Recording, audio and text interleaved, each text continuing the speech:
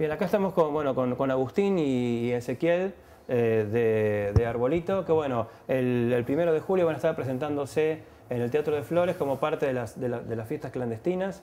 Primero, bueno, le damos la, bienvenida a 10 Música y lo primero que me gustaría que me cuenten es, eh, ¿tiene algún sabor, algún sabor especial el hecho de, tocar en estas fiestas tan particulares donde se comparte escenario con bandas quizás que no tienen quizás mucho que ver con, con ustedes, pero está bueno eh, unir esos públicos, ¿no? Sí, es un público este, que siempre abarca gente que, este, que le gusta mucho salir, a divertirse, entonces se suma siempre gente nueva a la que suele venir a los recitales nuestros. Y también de compartir con bandas, porque este, el primero de julio va a estar Cuatro Pesos de Propina, que es una banda este, amiga, incluso, una banda amiga de, Uruguay. Así que ya estamos seguros que por lo menos nosotros la vamos a pasar muy bien. Y, creo que el combo musical este, va a dar así una linda fiesta. Mm. ¿Y cambian algo, digamos, el, show que suele dar es Marbolito cuando, digamos, este, hace un show, este, un, show propio, una fecha propia, eh, cuando se, se, toca, digamos, en el contexto de, estas fiestas o no? ¿Es exactamente lo mismo que...? No, no, cambiamos porque ya nosotros estamos distintos. O sea, hablando que es una fiesta que vamos a tocar a las 2 de la mañana, en un ámbito donde la gente fue una, se llama fiesta clandestina, o sea, es una fiesta. Entonces, eh, desarrollamos un show que tenga es más para arriba. Por ahí hacemos un teatro o una fecha producida, tiene sus, sus viajes, ¿no? El show pasa por lugares más folclóricos o por lugares más mm. tranquilos, que se va a tocar en una fiesta eh, una hora, que supongo lo que siempre tocamos en las clandestinas, una hora, una hora y pico, mm. eh, para que la gente que esté en la fiesta eh, Claro, sí, sí. ¿Y cómo, cómo ven, digamos, ya con, con, el paso del tiempo a un, eh, a un disco como, como Despertándonos? Que digamos les, trajo y les sigue trayendo muchas satisfacciones a la banda. Porque una cosa es cuando apenas sale el disco y con esas vivencias muy, muy frescas, pero ahora que ya digamos este, pasó eh, más de un año de ese lanzamiento, ¿cómo, este, ¿cómo lo ven? ¿Están conformes con, cómo quedó todo? Sí, todo el proceso de laburo sobre el disco, la grabación, todo quedamos contentísimos, porque sentimos que, pudimos profundizar bastante, por lo menos en todo lo que sabíamos hacer con la música hasta ese momento, quedamos felices del, resultado. Y felices también de que la música viajó, viajó por el continente, este, llegó hasta Cuba incluso, hizo que nos invitaran a un festival y desde el mes de mayo estuvimos en la isla, tocando en La Habana y, en la ciudad de Holguín, en un festival que se llama Romerías de Mayo. Hace mm. poquito que volvimos. Y pasó algo muy lindo que con la canción Baila Baila, que es la canción que abre el disco nuestro, nos la tenían ahí guardadito como una sorpresa. Un grupo tradicional este, de música tradicional cubana, este, la orquesta Avilés, hizo una versión en ritmo de son de un mm. tinku boliviano eh, hard rock este, porteño. ¿no? Claro, claro, este, Así que bueno, es, hermoso de ver que, una música nuestra, por ahí nacida acá, la hayan tomado, se hayan apropiado, ¿no? Habla de, una identidad latinoamericana que, está mm. haciéndose cada vez más fuerte, es, es, muy lindo de ver. Y es el espíritu del disco, el despertándonos es una palabrita que surge desde Sudamérica y se, se, va enraizando y transforma esa palabra, ¿no?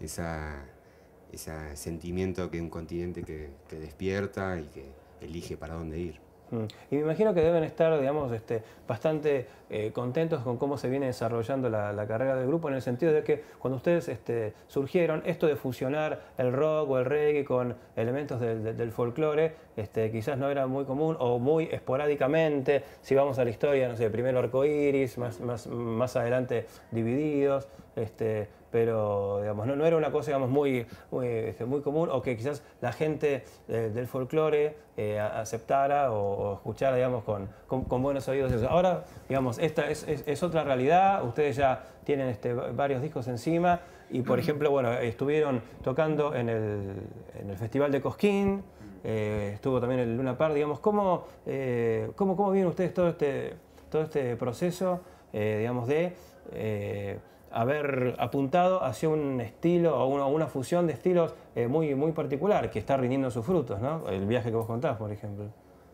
Ah, primero nosotros lo sentimos como algo natural, el que se fusione de la música de raíz de, de Argentina, del continente, que es la música que está desde hace miles de años acá, que se fusione con lo que nosotros traemos, que es, que es el rock. Nosotros somos de Buenos Aires, una generación que creció escuchando rock, tocando bandas de rock y nos sigue gustando el rock y, y nos va a seguir gustando.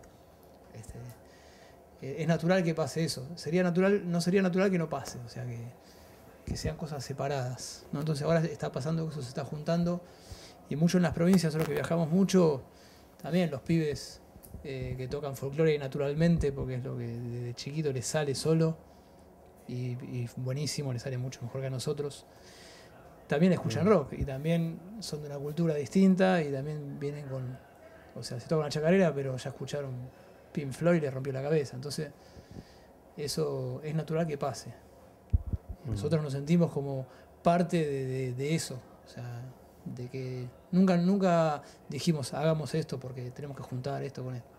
Eh, Es algo natural. Mm, Eso desde el lado de ustedes. Y, y desde el lado de, de la gente, ¿también siempre fue como que desde el principio aceptó la propuesta del grupo o fue, digamos, o fue dificultoso, digamos, que la gente Eh. a- aceptó, se acostumbrara a esta, a esta fusión? El primer disco nuestro se llama La mala reputación.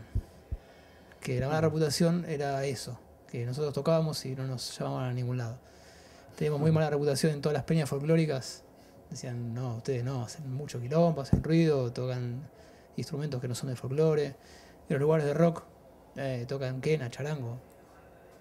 Claro, sí, tuvimos sí. una mala reputación que, que eso nos hizo a nosotros inventar otro camino, ir a las plazas, ir a hacer la, la nuestra, producir nuestras fechas. Eh, y eso está cambiando, es algo que lo, lo- lo venimos viendo. Este año nos dieron el premio Consagración de Cosquín, que es el festival folclórico número uno Mm, de Argentina, quizás de Latinoamérica. Fuimos a la consagración cuando antes ni se pensaba que un grupo como nosotros podía estar ahí. Eso tiene que ver con ese cambio, con esa caída de los prejuicios, tal cual, sí. sí, eh, sí. que tiene que ver con la sociedad entera, más allá de la música, ¿no? Es- También que aprendimos a tocar un poquito mejor, quizás.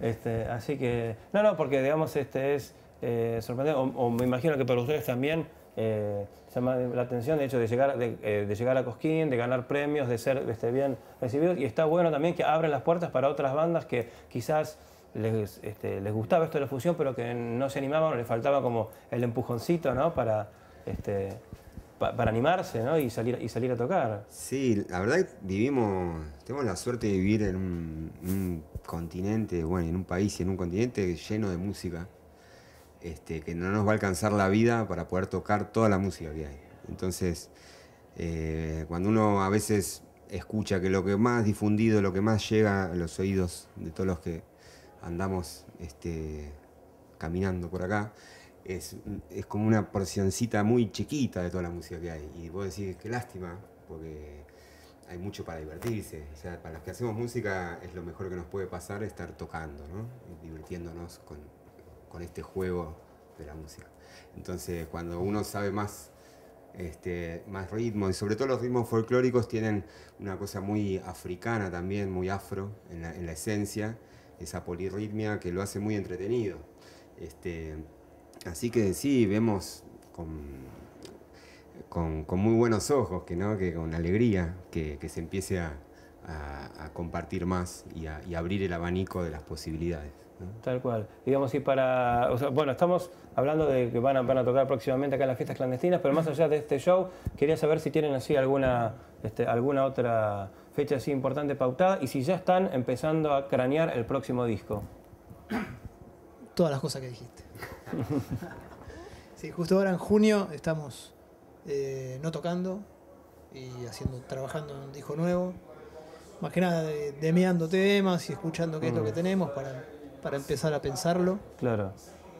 Y a partir del 1 de julio, que es la fecha que tenemos en el Teatro de Flores, Sí. arrancamos una gira bastante interesante por el país. Vamos a estar en, bueno, el, el 2 de julio en La Plata, en la Sala Ópera. Después vamos a Rosario, a Willy Dixon el 22, en Salta, vamos a estar en, también en La Rioja, en Catamarca, en Chaco. Eh, arrancamos. Mm, Y en cuanto, a- en cuanto al disco, ¿se puede pueden comentar algo, adelantar? O sea, ¿Ya ven, vislumbran para qué lado va? Está prohibido decir nada. No, no, estamos escuchando las canciones que tenemos, son un montón. Eh, eh, un montón de canciones por ahí de composición más individual. Y es el momento de empezar a llevarlo a la, a la ensalada de arbolito y entre todos elegir cuáles son las canciones que más nos gustan y Mm. para dónde las dirigimos. Están, Eso, digamos, es en el el, en el proceso. proce- el proceso de selección. Bueno, chicos, yo les agradezco por su tiempo, por esta nota y bueno, nos estaremos viendo eh, muy pronto, como siempre, en en 10 Música. Muchas gracias. ¿eh? Gracias a ustedes.